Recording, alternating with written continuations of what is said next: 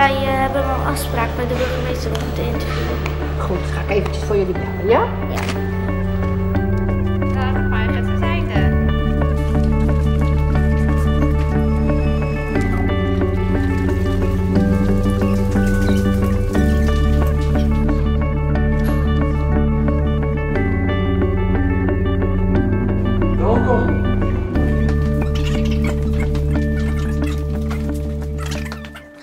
Wat is uw mening over de zin hier groeten wij elkaar, maken we een praatje met elkaar? Als je in een buurt samen woont of in een stad samen woont, dan is het heel goed dat je elkaar kent.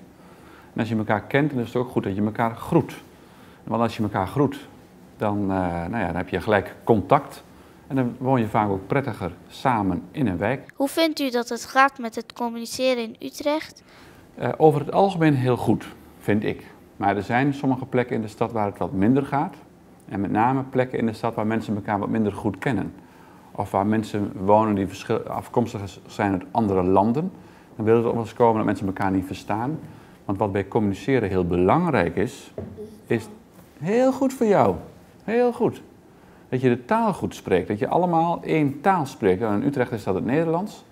Als je het Nederlands goed spreekt, dan kun je elkaar goed begrijpen. Want in gebieden waar mensen wonen die de taal niet spreken over en weer, ja, dan kun je niet met elkaar communiceren. Als je niet met elkaar kunt communiceren, begrijp je elkaar niet. Dan is er soms ergernis of ontstaat er ruzie.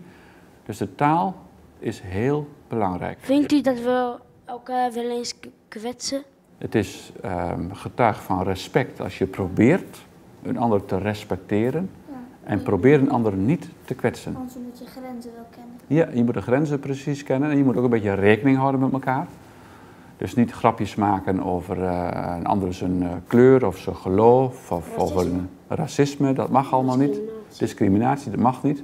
En soms vind ik dat je sommige dingen mag je wel zeggen, maar dan vind ik als je een beetje netjes met elkaar omgaat, dan zeg je dat toch niet. Om de ander in zijn waarde te laten of te respecteren. Je hoeft niet alles te zeggen wat je zou mogen zeggen. Dus je moet een beetje rekening houden met elkaar. Ik vind het heel goed dat jullie hier aandacht aan besteden. Jullie zijn natuurlijk weer de ouderen van later. Jullie moeten ook weer een goede voorbeeld geven aan andere kinderen.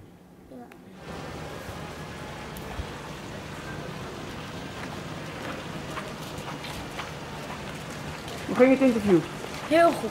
Ja, inderdaad. Hij gaf, hij gaf zeg maar echt, echt alle antwoorden die we nodig hadden. We, we hoefden bijna niet meer door te vragen. Ja, hij gaf allemaal positieve antwoorden. Eh, zeg maar het goede voorbeeld voor ons allemaal.